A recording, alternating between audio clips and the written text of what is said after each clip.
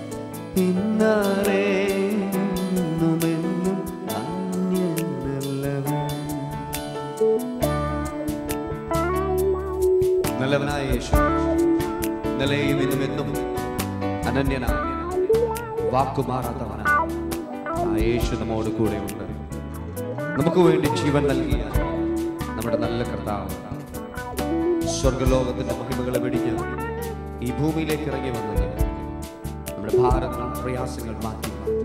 ശാപത്തിൽ നിന്നും ആപത്തിൽ നിന്നും നമുക്ക് മോചനം നൽകി. നമ്മൾ വീണ്ടെടുത്ത ആ സൃഷ്ടാവിനെ നാം ഒരുമിച്ച് പാടി മഹത്വപ്പെടുത്തുകയാണ്.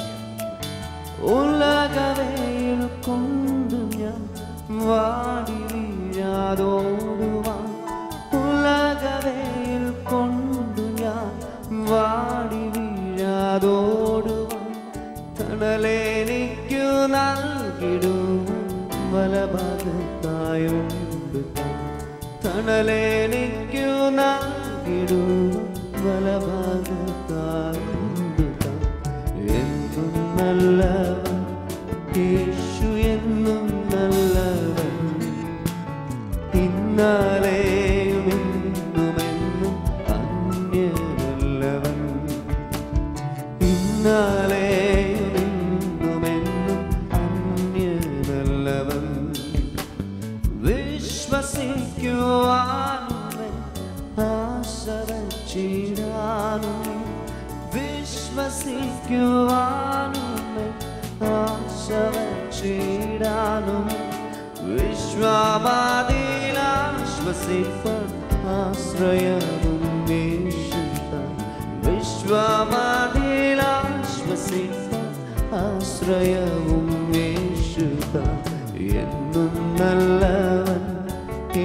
യേശു എന്നും നല്ലവൻ ഇന്നാലെയും ഇന്നുമെന്നും അന്യനല്ലവൻ. ഇന്നാലെയും ഇന്നുമെന്നും അന്യനല്ലവൻ. രാവിലെ പകലിലും ഒരുപോലെ നമ്മെ സൂക്ഷിക്കുന്ന നമ്മുടെ കർത്താവ്. നാം തകർന്നു പോകാം വീണു പോകാം. സംരക്ഷിക്കുന്ന യേശു നമ്മുടെ കുറവുകളെ നീക്കി നമ്മെ പരിശുദ്ധമാക്കി നിർത്തുവാൻ നമ്മുടെ ആത്മാവിന് നമ്മുടെ മേൽ പകർന്ന നല്ല പിതാവ്. ആ ശ്രേഷ്ഠ ദൈവത്തെ നമുക്ക് ഒരുമിച്ച് പാടി സ്തുതിക്കാം. അവനെ പോലെ തുല്യനായ മറ്റാരുമില്ല. അവനെ പോലെ നമ്മെ സ്നേഹിപ്പാൻ മറ്റാരുമില്ല.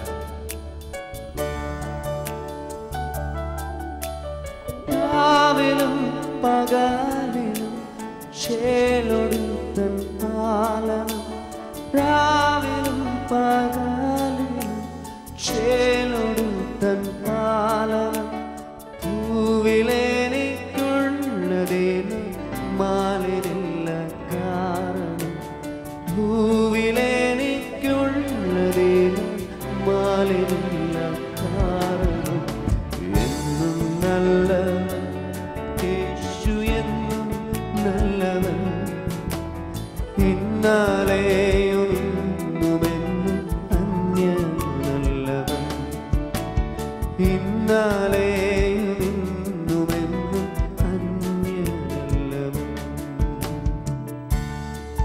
കർത്താവിന്റെ സാന്നിധ്യത്തിലേക്ക് നമ്മൾ ഒരുമിച്ചിരിക്കുമ്പോൾ നമ്മെ വിടുവിക്കുന്ന നമ്മെ സൂക്ഷിക്കുന്ന ആ കർത്താവിനെ നോക്കി ഇങ്ങനെ പാടുമോ എന്നെ ഒരു നോട് കൈവിടാത്ത കർത്താവ് എന്നെ എപ്പോഴും സൂക്ഷിക്കുന്ന ദൈവമേ ഞാൻ എന്റെ സന്നിധത്തിലേക്ക് കടന്നു വരുന്നു. ഞാൻ അങ്ങേ ആരാധിക്കുന്നു. ഞാൻ അങ്ങേ സ്തുതിക്കുന്നു.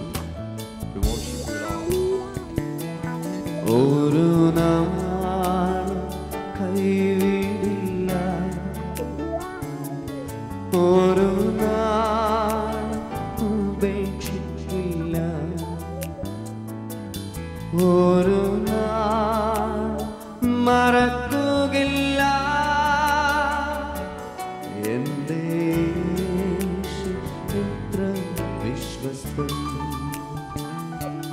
ഒരു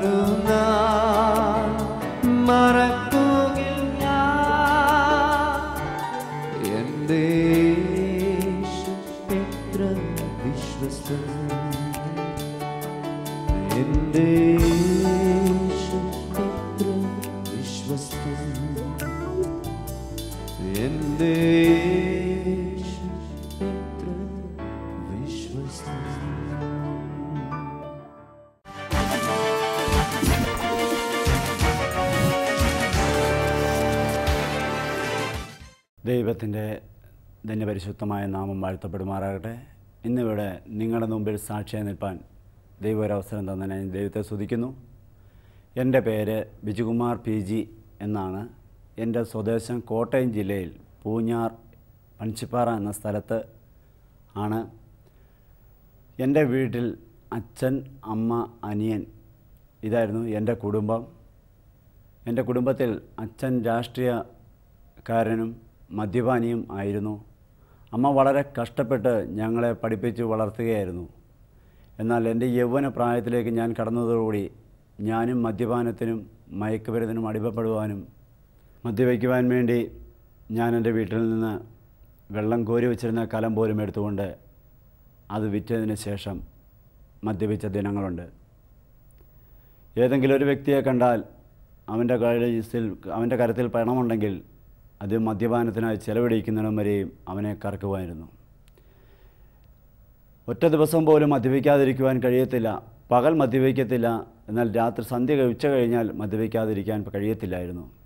മദ്യപിക്കാത്ത ഒരു ദിവസം പോലും എനിക്ക് ഉറങ്ങുവാൻ കഴിഞ്ഞിരുന്നില്ല. അതിന് മദ്യപാനം അല്പകാലം നീണ്ടു കഴിഞ്ഞപ്പോൾ അത് മയക്കുമരുന്നിലേക്ക് കടക്കുവാനിടയായിത്തീരുന്നു അത് ഞാൻ ജോലി ചെയ്തുകൊണ്ടിരുന്ന ഓരോ സ്ഥാപനത്തിലും ഈ മദ്യപാനത്തിന്റെ പേരിൽ എന്നെ പുറത്താക്കുമായിരുന്നു. എന്നും വൈകുന്ന സമയങ്ങളിൽ അടിയായി കേസുകളായി. അങ്ങനെ എന്റെ എന്റെ അമ്മയ്ക്ക് അതെന്നും തലവേദനയായിരുന്നു. ആ സമയത്ത് ഞാൻ തുടങ്ങിയ ബിസിനസ്സുകളൊക്കെയും പൊളിയുവാനും ഇടയായി തീർന്നു. അങ്ങനെ വലിയ കടഭാരമായി ഈ സമയത്ത് എന്റെ അച്ഛൻ ഞങ്ങളെ ഉപേക്ഷിച്ച് പോകുവാനിടയായി തീർന്നു. ഞാൻ എന്റെ വീട്ടിൽ കടഫ കടക്കാരെല്ലാം വന്ന് കയറുവാൻ തുടങ്ങി. ഇങ്ങനെ വളരെ ഭാരപ്പെട്ട് കഴിഞ്ഞപ്പോൾ എന്നെ പ്രസവിച്ച് വളർത്തിയ എന്റെ അമ്മ പറഞ്ഞു നീ ഒരു കാലത്തും ഗുണം പിടിക്കത്തില്ല. നീ പോയി മരിക്കുന്നതാണ് നല്ലത് എന്ന് പറയുവാനിടയായി ഞാൻ എന്റെ വീട്ടിൽ നിന്ന് വളരെ ദൂരത്ത് പോയി രക്ഷ പ്രാപിക്കാം രക്ഷപ്പെടാമെന്ന് കരുതി മുന്നോട്ട് പോയി. എന്നാൽ ചെന്നിടത്തൊക്കെയും പലവിധമായ ജോലികൾ ചെയ്തെങ്കിലും അവിടെയും എനിക്ക് മദ്യപാനികളെ മാത്രമാണ് കൂട്ടുകാരായി ലഭിച്ചത്. അങ്ങനെ എന്റെ ജീവിതം ഒന്നിനൊന്ന് വഷളായിക്കൊണ്ടിരുന്നു. ഒരിടത്ത് എല്ലായിടത്തും പരാജയമായി. പരാജയപ്പെട്ടപ്പോൾ ഞാൻ ചിന്തിച്ചപ്പോൾ അമ്മ പറഞ്ഞതാ കറക്റ്റ്. ജീവിതത്തിൽ നിനക്കൊരു ഉയർച്ച ഉണ്ടാകത്തില്ല. നീ മരിക്കുന്നതെന്നല്ല. ഞാൻ തീരുമാനിച്ചു. മരിക്കുവാൻ തീരുമാനിച്ചു. എന്നാൽ അവസാന നിമിഷം എന്നോണം വീട്ടിൽ വന്ന അമ്മയും അനിയനെയും കണ്ട് യാത്ര പറഞ്ഞ് മടങ്ങുവാൻ വേണ്ടി ആഗ്രഹിച്ച ഞാൻ വീട്ടിൽ വന്നു. അനിയനോട് ഞാൻ യാത്ര പറഞ്ഞു മരിക്കാൻ പോകുക എന്ന് പറഞ്ഞില്ല. നിനക്കെന്തെങ്കിലും നന്മയുണ്ടായാൽ ഞാൻ നിന്നെ സഹായിക്കാം. ഇല്ല എങ്കിൽ ഈ വീടിന്റെ കടഭാരങ്ങളെല്ലാം നീ തീർത്ത് ഇതിൽ നിന്ന് ഞാനൊന്നും ചോദിക്കുവാൻ ഇനി വരത്തില്ല എന്ന് പറഞ്ഞാണ് വീട്ടിൽ നിന്ന് യാത്രയായി. അങ്ങനെ പൂഞ്ഞാറിന്റെ പ്രദേശത്ത് മനുഷ്യഭാരം എന്ന സ്ഥലത്ത് ഞാൻ ബസ് കയറി കോട്ടയത്ത് നാഗമ്പടം എന്ന് പറഞ്ഞ സ്ഥലത്ത് ബസ് വന്ന സ്റ്റാൻഡിന് മുമ്പിൽ നിർത്തിയപ്പോൾ ഒരു ചെറുപ്പക്കാരൻ എന്റെ തോളിൽ തട്ടിയിട്ട് പറഞ്ഞു മോനെ യേശുക്രിസ്തു നിന്നെ സ്നേഹിക്കുന്നു. നീ ജീവിതത്തിലേക്ക് മടങ്ങി വരണം എന്ന് പറഞ്ഞു. ഞാൻ ആ മനുഷ്യന്റെ മുഖത്തേക്ക് ഒന്ന് നോക്കി അദ്ദേഹം ആ സ്റ്റോപ്പിൽ ഇറങ്ങി എന്നാൽ എന്റെ ലക്ഷ്യസ്ഥലമായ റെയിൽവേ സ്റ്റേഷന്റെ അവിടെ അടുത്ത സ്റ്റോപ്പാണ്. ആ സ്റ്റോപ്പിൽ ഞാൻ ബസ് ഇറങ്ങി. ഈ യേശുക്രിസ്തു മോനെ സ്നേഹിക്കുന്നുള്ള വാക്ക് എന്റെ മനസ്സിൽ കൂടെ കൂടെ അലട്ടുവാൻ തുടങ്ങി. ജീവിക്കണമെന്നുള്ള ആഗ്രഹം എന്റെ മനസ്സിൽ വീണ്ടും ജനിക്കുവാനിടയായി. ഞാൻ അവിടെ ഇങ്ങനെ പതറി നിൽക്കുമ്പോൾ ഒരു വ്യക്തി മുഖാന്തരം ഞാൻ കോട്ടയം മെഡിക്കൽ കോളേജിന്റെ അവിടെ വരികയും അവിടെ ഒരു ഹോട്ടലിൽ എനിക്ക് ജോലി ശരിയാകുവാൻ ഇടയായിത്തീർന്നു അങ്ങനെ ജോലി ആ അവിടെ ജോലിയിൽ കയറി ജോലിയിൽ കയറിയെങ്കിലും യേശുക്രിസ്തുവിന്റെ വാക്കുകളൊക്കെ മറന്നു. മെഡിക്കൽ കോളേജിന്റെ അടുത്ത് വാടകയ്ക്ക് താമസിക്കുമ്പോൾ യേശുക്രിസ്തു എന്റെ വൈഫിനെ സന്ദർശിക്കുവാനും അങ്ങനെ അവൾ വിശ്വാസത്തിലേക്ക് ഇറങ്ങിത്തിരിക്കുവാനും പിന്നത്തതിൽ എന്റെ ജീവിതത്തിൽ വീണ്ടും സാമ്പത്തിക ഞെരുക്കത്തിലൂടെ ഈ കർത്താവ് എന്നെ തേടിയെത്തുവാൻ ഇടയായി തീർന്നു അങ്ങനെ ഞാൻ ദൈവഭാഗത്തേക്ക് വന്നു. കയറി കിടക്കാൻ ഒരു വീടോ ഒന്നുമില്ലാതിരുന്ന എനിക്ക് കോട്ടയത്ത് മെഡിക്കൽ കോളേജിന്റെ അവിടെ ഇന്നിപ്പം വീടുണ്ട്. ഭാര്യ രണ്ട് കുഞ്ഞുങ്ങളുമായി അവിടെ താമസിക്കുന്നു. ഇന്ന് കർത്താവിന്റെ വേലയിൽ പൂർണമായി ഞങ്ങൾ കുടുംബമായി വേല ചെയ്യുന്നു. മരിക്കുവാൻ വന്ന പട്ടണത്തിൽ എനിക്ക് ദൈവം സ്വന്തമായി വീട് തന്നു. ക്രിസ്തുവേശുവിനെ കണ്ടുമുട്ടിയതാണ് എന്റെ ജീവിതത്തിൽ സമാധാനത്തിന് കാരണമായത്. എന്റെ ദൂഷ്യ സ്വഭാവങ്ങൾ മാറുവാൻ വേണ്ടി എന്റെ മാതാപിതാക്കൾ നേർച്ച കാഴ്ചകൾ നടത്തി ഉരുള നേർച്ചകൾ നടത്തി ഒന്നും എന്നെ ശരിയായിട്ട് കൊണ്ടുവരാൻ കഴിഞ്ഞില്ല. എന്നാൽ യേശു ക്രിസ്തുവിലേക്ക് വരികയും തിരുവചനത്തിൽ പറഞ്ഞിരിക്കുന്നത് പോലെ ഒരുവൻ ക്രിസ്തുവിലായാൽ അവൻ പുതിയ സൃഷ്ടിയാകും. ഞാൻ ബൈബിൾ വായിക്കുവാൻ തുടങ്ങിയപ്പോൾ എന്റെ മദ്യപാന ആസക്തി എന്നെ വിട്ടു മാറുവാനിടയായി തീർന്നു എന്നെ ഒരു പുതിയ മനുഷ്യനാക്കി തീർക്കുവാനിടയായി തീർന്നു അതുവരെയും വായെടുത്തു കഴിഞ്ഞാൽ ചീത്ത വാക്കുകൾ പറഞ്ഞ് സംബോധന ചെയ്യുന്ന ഞാൻ നല്ല വാക്കുകൾ ഉച്ചരിക്കുവാനിടയായിരുന്നു. ഇന്ന് ഞാൻ എന്നെ ശപിക്കപ്പെട്ട എന്റെ മാതാപിതാക്കൾക്കും സഹോദരങ്ങൾക്കും ദേശത്തിനുമെല്ലാം അനുഗ്രഹിക്കപ്പെട്ടാനായി നിൽപ്പാൻ സ്വർഗത്തിലെ ദൈവം സഹായിച്ചു.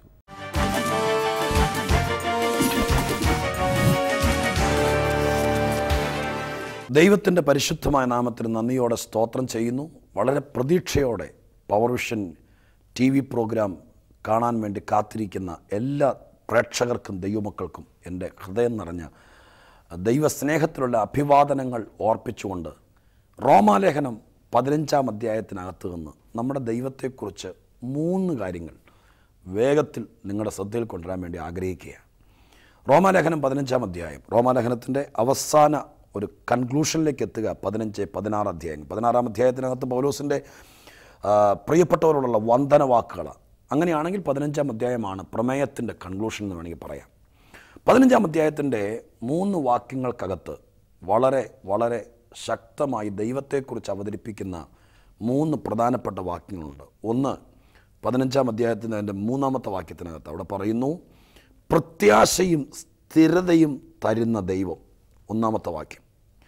പിന്നെ അതിന്റെ പതിമൂന്നാമത്തെ വാക്യത്തിനകത്താണ് അവിടെ പറയുന്നു പ്രത്യാശ നൽകുന്ന ദൈവം. മോളിൽ പറഞ്ഞത് ആശ്വാസവും സ്ഥിരതയും നൽകുന്ന ദൈവം. ഈ പതിമൂന്നിൽ പറയുന്നത് പ്രത്യാശ നൽകുന്ന ദൈവം. മുപ്പത്തി മൂന്നാം വാക്യത്തിൽ പറയുന്നത് സമാധാനത്തിന്റെ ദൈവം. ഈ മൂന്ന് വാക്കുകളിലൂടെയാണ് ഈ അധ്യായം ഈ പുസ്തകം തീരുമ്പോൾ ദൈവത്തെ പറഞ്ഞ് പൗലോസപ്പസ്തോലൻ ഈ ലേഖനം അവസാനിപ്പിക്കുന്നത്. ഒന്നുകൂടെ ഞാൻ ആവർത്തിച്ച് ഓർപ്പിക്കാം. ഒന്നാമത്തെ വാ ഭാഗത്തിനകത്ത് പറയുന്നത് സ്ഥിരതയും ആശ്വാസവും നൽകുന്ന ദൈവം. രണ്ടാമത്തെ ഭാഗത്ത് ഓർപ്പിക്കുന്നത് പ്രത്യാശ നൽകുന്ന ദൈവം.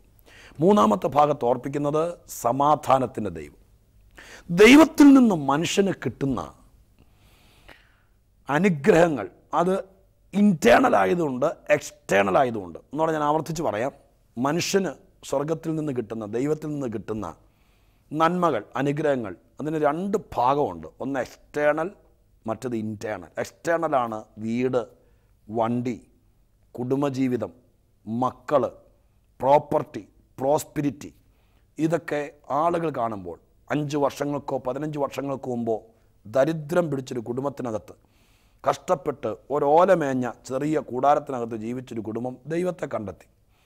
പതിനഞ്ചിരുപത് വർഷങ്ങൾ കഴിഞ്ഞപ്പോൾ കാലം മാറി. അവർക്ക് നല്ല വീടായി. മക്കൾ അനുഗ്രഹിക്കപ്പെട്ടു. ഗേറ്റ് വണ്ടി സൗകര്യങ്ങൾ മക്കളൊക്കെ വിദേശത്ത് പോയി. വരുമ്പോൾ ഹൈ ഹീൽഡ് ഷൂസും വിദേശ നിർമ്മിത പെർഫ്യൂമൊക്കെ അടിച്ച് നാട്ടിലൂടെ നടക്കുമ്പോൾ ആളുകൾ പറഞ്ഞേക്കാം ഓ എങ്ങനെ കടന്നവരാണെന്നറിയാമോ? ദൈവം അങ്ങ് അനുഗ്രഹിച്ചു. ചിലർ അസൂയപ്പെടുന്നവർ കണ്ടേക്കാം. അതൊരു എക്സ്റ്റേണൽ ബ്ലെസ്സിങ് ആണ്. വീടും സൗകര്യമൊക്കെ കണ്ടപ്പോൾ ദൈവത്തിന്റെ കൃപയാൽ കണ്ടവർക്കെല്ലാം നല്ല വസ്ത്രം നല്ല നിലവാരം നല്ല മുഖച്ഛായ നല്ല പേഴ്സണാലിറ്റി നല്ല ആരോഗ്യം സൗന്ദര്യമുള്ള ഭാര്യ മിടുക്കരായ മക്കൾ വില കൂടിയ കാറ് രണ്ട് നില വീട് ബാംഗ്ലൂർ ഫ്ലാറ്റ് ട്രിവാൻഡ്രത്ത് വില്ല ഇതൊക്കെ വരുമ്പോഴേക്കും എക്സ്റ്റേണൽ ബ്ലെസ്സിങ് തെറ്റല്ല.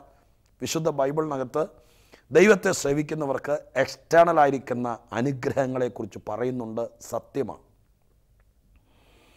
എന്നാൽ എക്സ്റ്റേണൽ അനുഗ്രഹങ്ങൾ മാത്രം കൊടുത്ത് ആളുകളെ പിടിച്ചു നിർത്തുന്ന ഒരു കോർപ്പറേറ്റ് ബിസിനസ് മൈൻഡുള്ള ആളല്ല വിശുദ്ധ ബൈബിൾ പറയുന്ന ദൈവം.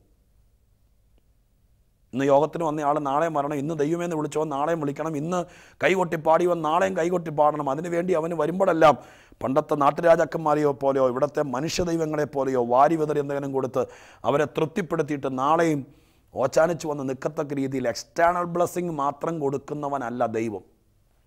വിശുദ്ധ ബൈബിൾ പഠിച്ചാൽ ഇന്റേണൽ ആയിരിക്കുന്ന ബ്ലെസ്സിങ് ഉണ്ട്.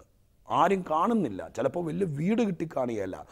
വലിയ പ്രൗഢമായിരിക്കും നിലവാരത്തിൽ എത്തിക്കാണുകയല്ല ചിലപ്പോൾ മക്കളോ ഇതൊക്കെ ഉദ്ദേശിച്ച പോലെ വലിയ ഉയരത്തിലെത്തിക്കാണുകയല്ല. അതൊക്കെ ഒരു ഭാഗം എത്തട്ടെ എന്ന് ഞാൻ മനസ്സുകൊണ്ട് പ്രാർത്ഥിക്കുന്നു. എങ്കിലും ഞാൻ ഈ സത്യസന്ധമായ കാര്യം പറയാൻ വേണ്ടി ആഗ്രഹിക്കുക ഇന്റേണലായ ബ്ലെസ്സിങ്സ് അതാണ് നമ്മൾ ഈ വായിച്ച മൂന്ന് വാക്യത്തിൽ ദൈവം കൊടുക്കുന്ന കാര്യം. ആശ്വാസം കൊടുക്കുന്ന ദൈവം. പ്രത്യാശ നൽകുന്ന ദൈവം. സമാധാനം കൊടുക്കുന്ന ദൈവം. സമാധാനം ഇന്റേണൽ ബ്ലെസ്സിങ് അഞ്ച് മുറി എയർ കണ്ടീഷൻ ആയിരിക്കുന്ന ശീതീകരിച്ച വലിയ വീട് മുറ്റത്തെല്ലാം പ്രൗഢമായിരിക്കുന്ന വില കൂടിയ ഇന്റർലോക്ക് സ്തോത്രം എന്താ പറയുക ടൈലുകൾ. ഗ്രനൈറ്റും മാർബിളും കൊണ്ട് ഫ്ലോറെല്ലാം ചെയ്തിരിക്കുന്നു. വില കൂടിയ മെറ്റീരിയൽസ് വിദേശത്തു നിന്ന് കൊണ്ടുവന്ന് എല്ലാം ചെയ്തിരിക്കുന്നു. ഇത്ര വലിയ വീടിനകത്ത് ഒമ്പതിഞ്ച് കനമുള്ള നല്ല മെത്തക്കകത്ത് ആറാറര അടി നീളമുള്ള മനോഹരമായിരിക്കുന്ന കട്ടിലിൽ കടക്കാൻ പറ്റാതെ സമാധാനം ഇന്റേണൽ ബ്ലെസ്സിങ് ഇല്ലാതെ എക്സ്റ്റേണൽ ബ്ലെസ്സിങ് മാത്രം കയ്യിൽ വെച്ചുകൊണ്ട് ജീവിക്കുന്ന ആളുകൾ ഈ പടുകൂറ്റം വീടിനകത്ത് സൗന്ദര്യ റാണികളടക്കം കോടിക്കണക്കിന് രൂപ കൈവശം വെച്ച് വിരാജിച്ച ആളുകൾ ഒന്നുകിൽ തലയ്ക്ക് വെടിവെച്ചോ ഒരു കുപ്പി വിഷത്തിലോ ഒരിച്ചാൻ കയറിലോ തീർന്നവരെക്കുറിച്ച് നിങ്ങൾ വായിച്ചിട്ടില്ലേ? ആധുനിക കാലത്ത് എന്താ കാര്യം? എക്സ്റ്റേണൽ ബ്ലെസ്സിങ് എവിടെ നിന്നൊക്കെയോ കിട്ടി? ഇന്റേണൽ ബ്ലെസ്സിങ് ഇല്ലായിരുന്നു. പ്രത്യാശ. ഇന്റേണൽ ബ്ലെസ്സിങ് എന്ന് പറഞ്ഞാൽ എന്താണെന്നറിയാമോ? ഇപ്പോൾ ഒരു പക്ഷെ നിൽക്കുന്നിടത്ത് മണ്ണൊലിച്ചു പോകുമായിരിക്കും ഓ പ്രാർത്ഥിച്ചു കരഞ്ഞു നിലവിളിച്ചു മറ്റു പലർക്കും ഇല്ലാത്ത ഭയങ്കര ഭയങ്കരമായിരിക്കുന്ന പോരാട്ടങ്ങളും വലിയ വലിയ പ്രതിസന്ധികളും ഇതിന് നടുവിൽ നമുക്ക് ഉത്തരം കിട്ടുന്നില്ല. ആകപ്പാടെ. പക്ഷേ ഇതിന് നടുവിലും ദൈവത്തെ മുറുകെ പിടിക്കുന്ന ആളുകൾക്കൊരു പ്രത്യേകതയുണ്ട്. ദൈവവർക്ക് പ്രത്യാശ ലക്ഷക്കണക്കിന് രൂപയുണ്ട്. നമുക്ക് അനുഭവിക്കപ്പെട്ട സംഭവം മറ്റു പലർക്കും ആണെങ്കിലും അവർ പലരെ തീവണ്ടിക്ക് തലവെച്ചേനെ പക്ഷേ ഇത് വെക്കുന്നില്ല. സമാധാനത്തോടെ ഇരട്ടച്ചങ്കുള്ളത് കൊണ്ടല്ല മറിച്ച് ദൈവത്തിന്റെ സന്നിധാനത്തിൽ ഇന്റേണൽ ബ്ലെസ്സിങ് പ്രത്യാശ നൽകുന്ന ദൈവം. ആശ്വാസം നൽകുന്ന ദൈവം. റോമർ പതിനഞ്ചെന്നാണ് ഞാനിത് പറഞ്ഞത് കേട്ടോ. ആശ്വാസം ഒരു ഇന്റേണൽ ബ്ലെസ്സിങ്ങാണ് വിളമ്പി വെച്ച ചോറുണ്ണാൻ പറ്റാതെ ഫ്രിഡ്ജ് നിറച്ച ആഹാരമുണ്ട് വിഭവസമർത്ഥമായ പലതുമുണ്ട്. പക്ഷെ കുഞ്ഞുങ്ങളെക്കുറിച്ച് ഓർക്കുമ്പോൾ കെട്ടിച്ചയച്ച വീട്ടിൽ മോൾ ഇവിടെ തലയിൽ വെച്ചാൽ പേരിരിക്കും താഴെ വെച്ചാൽ ഉറുമ്പരിക്കും എന്ന് പറഞ്ഞ് വളർത്തിക്കൊണ്ട് വന്നവളെ വലിയ പ്രൗഢമായ നിലവാരത്തിൽ ഗംഭീരമായി രണ്ടായിരം പേർക്ക് പത്ത് നാനൂറ് രൂപ ഒരു പ്ലേറ്റിന് വിഭവസമർത്ഥമായ ആഹാരം കൊടുത്ത് ഉന്നതന്മാരെ വിളിച്ചു വരുത്തി ആഡംബരത്തോടെ വിവാഹം നടത്തി വിട്ടു. പക്ഷെ അവിടെ ചെന്നപ്പോൾ നരകത്തിലേക്ക് എരുതിയിലേക്ക് വീണതുപോലെ ആ കുഞ്ഞ് വീണതെന്നിരിക്കട്ടെ. അവളുടെ വിലാപങ്ങളും സങ്കടവും ഇട്ടിട്ട് പോകാൻ പറ്റുമോ നാണക്കേടല്ലേ? അത് കേട്ട് ഓരോ ദിവസവും അമ്മേ മമ്മീന്ന് വിളിച്ച് പറയുമ്പോൾ നെഞ്ചെരിഞ്ഞ് വീട്ടിൽ ജീവിക്കുമ്പോൾ വിളമ്പി വെച്ച ചോറുണ്ണാൻ കഴിയാത്ത എത്രയോ അമ്മമാർ പിതാക്കന്മാർ സ്വന്തം മക്കളെ ചൊല്ലി പൊട്ടി പൊട്ടി കരയുന്നവരുണ്ട്. മോളെ വിവാഹം കഴിച്ചയക്കാൻ അവക്കൊരു കാറും കൊടുത്ത് ലക്ഷക്കണക്കിന് രൂപയും കൊടുത്ത് ആഡംബര സമൃദ്ധിയോടെ ആയിരങ്ങളെ വിളിച്ച് ആഹാരം കൊടുക്കാനുള്ള പണം കിട്ടിയതും അതിനടിച്ച ടെന്റും അതിനെ വിളമ്പി ആഹാരമെല്ലാം എക്സ്റ്റേണൽ ബ്ലസ്സിങ്ങാണ്. എന്നാൽ അവളെ കെട്ടിച്ചയച്ച വീട്ടിൽ ഇന്റേണലായിട്ട് ആശ്വാസവും സമാധാനവും സ്വസ്ഥതയില്ലെങ്കിലോ? പോയില്ലേ? ഈ പ്രത്യേക സാഹചര്യത്തിൽ ടെലിവിഷൻ ചാനലിലേക്ക് മാത്രം കണ്ണും നട്ടിരിക്കുന്ന ശ്വാസമടക്കിയിരുന്നത് പോലെ ആറേഴ് മിനിറ്റ് ഇരുന്ന് എന്റെ പ്രിയപ്പെട്ടവരുടെ നെഞ്ചത്ത് കൈവച്ചുകൊണ്ട് പറയാം. എന്റെ തമ്പുരാനെ ബൈബിൾ പറയുന്ന ഈ മഹാദൈവത്തെ എക്സ്റ്റേണൽ ബ്ലെസ്സിങ്ങിന് വേണ്ടി മാത്രം ഉപയോഗിക്കരുത്. ചിലപ്പോൾ നമുക്ക് പിടിച്ചു നിൽക്കാൻ പറ്റാത്ത നിലവാരത്തിൽ പൊട്ടി തകർന്നു പോകാം. ദൈവം ആശ്വാസം നൽകുന്നവനാ അത് വേണ്ടേ. പ്രത്യാശ നൽകുന്നവനാ വേണ്ടേ. സമാധാനം നൽകുന്നവനാ വേണ്ടേ. സ്ഥിരത നൽകുന്നവനാ വേണ്ടേ. സ്വസ്ഥത നൽകുന്നവനാ. ഇതൊക്കെ ഇന്റേണലാ ഒരു മനുഷ്യന്റെ അകത്ത് സ്വസ്ഥത എന്ന് പറയുന്നത് പുറമേ ഒരു പക്ഷം ഇട്ടിരിക്കുന്ന വസ്ത്രം കുട്ടിത്തുന്നി ഒരു ബട്ടൺസ് പൊട്ടിയതായിരിക്കും. പക്ഷെ ഉള്ളത്തിന്റെ ഉള്ളിൽ സ്വസ്ഥതയുള്ളവൻ ഇട്ടിരിക്കുന്ന വസ്ത്രമല്ല ഹൈ ഹീൽഡ് ഷൂ അല്ല അവനടിച്ച സ്പ്രേ അല്ല. ഉള്ളിൽ സ്വസ്ഥതയുള്ളവൻ അവനാ ഭാഗ്യവാൻ. ഞാൻ അവസാനിപ്പിക്കുക കേട്ടോ. ഇത് പവർ വിഷന്റെ മിഷൻ മന്ത. വളരെ അനുഗ്രഹീതമായ നിലവാരത്തിൽ കഴിഞ്ഞ ദീർഘവർഷങ്ങളായി മലയാളികളുടെ ഹൃദയത്തിനകത്ത് സ്ഥാനം പിടിച്ച ഈ മനോഹരമായിരിക്കുന്ന സുവിശേഷ ചാനൽ. ദൈവമക്കളുടെ പ്രാർത്ഥന നിസീമമായ സഹകരണം നിർലോഭമായിരിക്കുന്ന നിലവാരത്തിൽ അകമഴിഞ്ഞ് കർത്താവിന്റെ വേലയും സുവിശേഷത്തെ സ്നേഹിച്ച് ഒരുപാട് ആളുകൾ കണക്ക് നോക്കാതെ വരുമാനത്തിൽ നിന്ന് ദൈവത്തിന്റെ വേലയ്ക്ക് വേണ്ടി കൊടുത്തു. മലയാളക്കരയ്ക്ക് അങ്ങനെ ഒരു ഭാഗ്യമുണ്ട്. പവർ വിഷൻ അതിന്റെ ഒരുപാട് ആസ്വാദനങ്ങൾ കഴിഞ്ഞ നാളുകൾ അനുഭവിച്ചു. ഇത് പവർ വിഷൻ മിഷൻ മന്തായിട്ട് വേർതിരിച്ചിരിക്കുക ലക്ഷക്കണക്കിന് രൂപ ഓരോ മാസവും ലോകമെമ്പാടുമുള്ള ആളുകളുടെ ഹൃദയത്തിൽ ദൈവത്തിന്റെ വചനത്തിന്റെ വിത്തുപാകാൻ വേണ്ടി ഒരു സംഘം ആളുകൾ അഭിഷിക്തന്മാരായ കർത്തൃദാസന്മാരുടെ നേതൃത്വത്തിൽ നല്ല നിലവാരത്തിൽ മുന്നോട്ട് പോയിക്കൊണ്ടിരിക്കുന്ന ഒരു ടീം വർക്കാണിത് സുഖവുമായി മുന്നോട്ട് പോകണമെങ്കിൽ നിങ്ങളുടെ പ്രാർത്ഥന നിങ്ങളുടെ സഹകരണം തുറന്നു പറഞ്ഞാൽ പണപരമായ സപ്പോർട്ട് ഇതെല്ലാം ഈ ചാനലിന്റെ സുവിശേഷീകരണത്തിന്റെ സുഗമമായ നടത്തിപ്പിന് ആവശ്യമാണ്. ഈ മിഷൻ മന്തിൽ നിങ്ങൾക്ക് സമാധാനം തന്ന ദൈവം നിങ്ങൾക്ക് പ്രത്യാശ നൽകിയ ദൈവം നിങ്ങൾക്ക് ആശ്വാസവും സ്ഥിരതയും നൽകിയ ദൈവം. എത്രയോ വീട്ടിൽ പണം കെട്ടിക്കിടന്നിട്ട് ഉറക്കം വരാത്തവരുണ്ട്. നമുക്കത് തന്നില്ലേ? തുക വലുതാണോ ചെറുതാണോ ഇതൊന്നും വിഷയമല്ല. ഇത് സുവിശേഷത്തിന് വേണ്ടി വിധവയർപ്പിച്ച രണ്ട് കാശ് പോലും ദൈവത്തിന്റെ ഭണ്ണാരത്തിൽ വിലപ്പെട്ടതാണ് നിങ്ങൾക്ക് ചെയ്യാൻ പറ്റുന്ന ചെറുതോ വലുതായിരിക്കുന്ന ഏതൊരു നിലവാരത്തിലും. കർത്താവിന്റെ വേലയുടെ വിശാലതയ്ക്ക് വേണ്ടി പവർ വിഷനിലേക്ക് വിളിക്കുക. നിങ്ങൾ നിങ്ങളുടെ മനസ്സ് തുറന്ന് പ്രാർത്ഥനയിലും നിങ്ങളുടെ സപ്പോർട്ടിലും പവർ വിഷന്റെ സുഖവുമായ നടത്തിപ്പിൽ നിങ്ങൾ സഹകാരികളാകുക. ദൈവം നിങ്ങളെ സമൃദ്ധിയായിട്ട് അനുഗ്രഹിക്കും. ഞാൻ പറഞ്ഞ സന്ദേശം മറക്കരുത്. റോമാലേഖനം പതിനഞ്ചാം അധ്യായം ഈ എപ്പിസോഡ് കഴിയുമ്പോൾ ഒന്ന് വായിച്ചു നോക്കണം. അതിനകത്ത് ഇന്റേണൽ ബ്ലെസ്സിങ് ഉണ്ട്. നിങ്ങൾ അവകാശമാക്കണം. നിങ്ങൾക്ക് നന്മ തരും. നിങ്ങൾക്ക് അനുഗ്രഹം തരും. എല്ലാ സമൃദ്ധിയാലും ദൈവം നിങ്ങളെ നിറയ്ക്കട്ടെ എന്ന് അകമഴിഞ്ഞ് പ്രാർത്ഥിച്ചുകൊണ്ട് അവസാനിപ്പിക്കുന്നു. ദൈവം നിങ്ങളെ അനുഗ്രഹിക്കട്ടെ.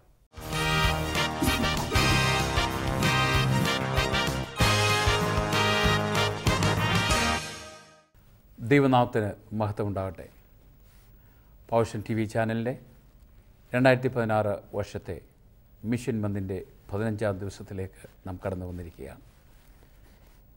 കഴിഞ്ഞ പതിനഞ്ച് പതിനഞ്ച് ദിവസവും നല്ല ആരാധന നല്ല ജീവനുള്ള സാക്ഷ്യങ്ങൾ നല്ല ദൈവീയ സന്ദേശങ്ങൾ നമുക്ക് കാണുവാൻ ഇടയായി. വല വളരെയധികം അനേകർക്കിത് വളരെ പ്രയോജനപ്പെട്ടു എന്ന് നമുക്കറിയാനിടയായാൽ വളരെയധികം സന്തോഷമുണ്ട്. വാസ്തവമായി ദൈവം നമ്മളോട് സംസാരിക്കുന്ന പ്രോഗ്രാമുകളായി തീർന്നുകൊണ്ടിരിക്കുകയാണ്. നമുക്കറിയാം ഏറ്റവും സമൂഹത്തിൽ കൺസേൺ ഉള്ള ഒരു വിഭാഗമാണ് കുഞ്ഞുങ്ങൾ. തിരുവചനം ഇങ്ങനെ പറയുന്നു ബാലൻ നടക്കേണ്ടുന്ന വഴി അവനെ അഭ്യസിപ്പിക്കുക അവൻ വൃദ്ധനായാലും അത് വിട്ടുമാറുകയില്ല. നമ്മുടെ എല്ലാം ജീവിതത്തിൽ നമ്മൾ ഏറ്റവും ആശങ്കപ്പെടുന്നത് നമ്മുടെ കുട്ടികളുടെ ഭാവി നമ്മുടെ കുട്ടികളുടെ പഠിത്തം അവരുടെ സ്വഭാവം ഇതെല്ലാം വളരെ കൺസേണാണ് പല മാതാപിതാക്കളുമാരോടും ചോദിച്ചാൽ അവർ പറയും ഞാൻ എന്റെ കുഞ്ഞുങ്ങൾക്ക് വേണ്ടിയാണ് ജീവിക്കുന്നത്. എന്നാൽ ആ കുഞ്ഞുങ്ങൾ വലുതായി കഴിഞ്ഞിട്ട് ആ മാതാപിതാക്കന്മാരെ നോക്കാത്തവർ ആ മാതാപിതാക്കന്മാരെ അനുസരിക്കാത്തവർ അങ്ങനെയുള്ള ഒരു കുഞ്ഞുങ്ങളെ അങ്ങനെ ഒരു കുഞ്ഞുങ്ങളായി അവർ മാറിയാൽ ആ മാതാപിതാക്കൾക്ക് എന്ത് സങ്കടമായിരിക്കും. നമ്മുടെ ജീവിതം തന്നെ വളരെ വിഷമത്തിൽ വൃദ്ധരായി മരിക്കുമ്പോൾ ആ കുഞ്ഞുങ്ങളെക്കുറിച്ചുള്ള ആദ്യമായിട്ട് നമ്മുടെ മനസ്സിൽ കിടക്കും. നമുക്കറിയാം വളരെ കഷ്ടപ്പെട്ട് വളർത്തി പഠിപ്പിച്ച് വലുതായി കഴിയുമ്പോൾ ആ മാതാപിതാക്കളെ അടുത്ത അനാഥാലയങ്ങളിൽ കൊണ്ടുവിടുന്ന എത്രയോ കുഞ്ഞുങ്ങളാണുള്ളത്. എന്തുകൊണ്ടാണ് ഇങ്ങനെയൊക്കെ സംഭവിക്കുന്നത്? ബാലൻ നടക്കുന്ന വഴിയിൽ അവനെ അഭ്യസിപ്പിക്കണം. നമ്മുടെ കുഞ്ഞുങ്ങൾക്ക് ഏറ്റവും വില കൂടിയ പുസ്തകം വാങ്ങിച്ചു കൊടുക്കുന്നോ ഏറ്റവും നല്ല ഉടുപ്പ് വാങ്ങിച്ചു കൊടുക്കുന്നതോ ഏറ്റവും നല്ല സ്കൂളിൽ കൊണ്ടാക്കുന്നതല്ല അവന്റെ അഭ്യാസം അല്ലെ അവനെ പഠിപ്പിക്കേണ്ട കാര്യം. അതിനപ്പുറത്തായിട്ട് അവൻ നടക്കേണ്ടുന്ന വഴി എന്താണ് ദൈവം? എന്താണ് ദൈവസ്നേഹം? എന്താണ് ഗുരുക്കൾ എന്താണ് മാതാപിതാക്കൾ എന്ന് അവനെ പഠിപ്പിച്ചാൽ മാത്രമേ നല്ലൊരു കുഞ്ഞായിട്ട് അവൻ വളരുകയുള്ളൂ. നമ്മുടെ പൗഷനിൽ ധാരാളം പ്രോഗ്രാം കുഞ്ഞുങ്ങൾക്ക് വേണ്ടിയാണ് ചെയ്യുന്നത്. ഒരു കുഞ്ഞുങ്ങളുടെ സ്വഭാവ രൂപീകരണം അതെങ്ങനെയാണ് ചെയ്യുന്നത്? അതൊരിക്കലും സ്കൂളിൽ ഒരു പരിധിവരെ മാത്രമേ നമുക്ക് പഠിക്കാൻ കിട്ടുകയുള്ളൂ കുറേയൊക്കെ കുട്ടികളുടെ രൂപീകരണം നമ്മുടെ ഭവനങ്ങളിലാണ് നടക്കുന്നത്. എന്നാൽ ഭവനങ്ങളിലും നമ്മുടെ മാതാപിതാക്കൾക്ക് അതിനുള്ള സമയമില്ല അല്ലെ അതിനുള്ള അറിവില്ല. അങ്ങനെ വരുന്ന ഭവനങ്ങളിൽ പലപ്പോഴും കുഞ്ഞുങ്ങൾ മറ്റുള്ള പലരെയും കണ്ടാണ് അവരുടെ സ്വഭാവം രൂപീകരിക്കുന്നത്. അങ്ങനെയുള്ളവരാണ് പിൻകാലത്ത് വലിയ ക്രിമിനുകളാൽ ആയി മാറി മാറ്റപ്പെടുന്നത്. ഇങ്ങനെയുള്ള കുഞ്ഞുങ്ങളെയൊക്കെ ഒരു ദൈവിക രൂപീകരണം കൊണ്ടുവരുവാൻ ദൈവ സാന്നിധ്യം അവരിൽ ഉളവാക്കുവാൻ പൗഷൻ ധാരാളം പ്രോഗ്രാം കുഞ്ഞുങ്ങൾക്ക് വേണ്ടി ചെയ്യുന്നുണ്ട്. യുവജനങ്ങൾക്ക് വേണ്ടി ചെയ്യുന്നുണ്ട്. ഇതൊക്കെ അവരുടെ മനസ്സിനെ എങ്ങനെയെങ്കിലും ദൈവത്തിങ്കിലേക്ക് ആകർഷിക്കുവാനാണ്. ഒരു നീതിബോധം ഒരു സമാധാനം ഒരു സന്തോഷം അവരിൽ ഉളവാക്കുക എന്നുള്ളതാണ് പൗഷൻ ആഗ്രഹിക്കുന്നത്. ഇങ്ങനെയുള്ള പ്രോഗ്രാമുകളെല്ലാം നിങ്ങൾക്കും സ്പോൺസർ ചെയ്യാനുള്ള അവകാശമുണ്ട്. നിങ്ങൾക്ക് താല്പര്യമുണ്ടെങ്കിൽ നല്ല പ്രോഗ്രാമുകൾ ഞങ്ങൾക്ക് സ്പോൺസർ ചെയ്യാം. ആ പ്രോഗ്രാമുകൾ പല കുഞ്ഞുങ്ങളെ ദൈവസന്നിധിയിലേക്ക് അല്ലെ നേരായ ദിശയിലേക്ക് നയിക്കുമ്പോൾ അതിനുള്ള ക്രെഡിറ്റ് നിങ്ങൾക്കും കൂടെ ലഭിക്കും. പൗഷന്റെ ഈ പ്ര- പ്രവർത്തനങ്ങളിൽ നിങ്ങൾ ഇതുവരെ കാണിച്ച എല്ലാ നല്ല സന്മനസ്സുകൾക്കും എല്ലാ നല്ല റെസ്പോൺസിനും ഞങ്ങൾ നന്ദിയുള്ളവരാണ്. അതോടൊപ്പം തന്നെ ഇനിയും പൗഷൻ നിങ്ങളുടെ സഹായം ആവശ്യമുണ്ട് നിങ്ങളുടെ പ്രാർത്ഥന ആവശ്യമുണ്ട് നിങ്ങളുടെ സാമ്പത്തിക സഹായം ഞങ്ങൾക്ക് ആവശ്യമുണ്ട്. ഇപ്പോൾ കാണുന്ന ഈ സ്ക്രീനിൽ കാണുന്ന ഈ അഡ്രസ്സിൽ നിങ്ങൾക്ക് എന്തെങ്കിലും ദൈവം നിങ്ങളുടെ മനസ്സിൽ പൗരുഷനെ സഹായിക്കുവാനുള്ള ഒരു തോന്നൽ ഉണ്ടെങ്കിൽ ഞങ്ങളെ ഞങ്ങളുമായി ബന്ധപ്പെടണം. ഒന്നിൽ ബാങ്ക് വഴി നിങ്ങൾക്ക് ട്രാൻസ്ഫർ ചെയ്യാം. അല്ലെങ്കിൽ ഞങ്ങളുടെ ഓഫീസുകൾ വഴി ബന്ധപ്പെടുകയാണെങ്കിലും അതിനുള്ള അവസരമുണ്ട്. നിങ്ങളുടെ ഈ സഹായവും പ്രാർത്ഥനയും ഞങ്ങളെന്നും ആവശ്യപ്പെടുന്നു. തീർച്ചയായും ദൈവം നിങ്ങൾ ചെയ്യുന്ന എല്ലാ നല്ല കാര്യങ്ങൾക്കും പ്രതിഫലം തരും എന്നുള്ളതിന് യാതൊരു സംശയവുമില്ല. വീണ്ടും നാളെ നമുക്ക് കണ്ടുമുട്ടാം. എല്ലാ ദിവസവും വൈകിട്ട് ഏഴ് മണിക്ക് ഈ പ്രോഗ്രാം ടെലികാസ്റ്റ് ചെയ്യും. രാത്രിയിൽ തന്നെ പതിനൊന്നര മണിക്കും ഈ പ്രോഗ്രാം വീണ്ടും ടെലികാസ്റ്റ് ചെയ്യുന്നുണ്ട്. അതോടൊപ്പം പിറ്റേ ദിവസം രാവിലെ എട്ടര മണിക്കും ഈ പ്രോഗ്രാം ചെയ്യുന്നുണ്ട്. നിങ്ങൾ പൗഷനെ മറ്റുള്ളവർക്ക് പരിചയപ്പെടുത്തണം. പ്രത്യേകിച്ച് ഈ മിഷൻ മന്ത് പ്രോഗ്രാം കാണുവാൻ എല്ലാവരെയും ഉത്സാഹിപ്പിക്കണം. ദൈവം നമ്മളെ അനുഗ്രഹിക്കട്ടെ. God bless you.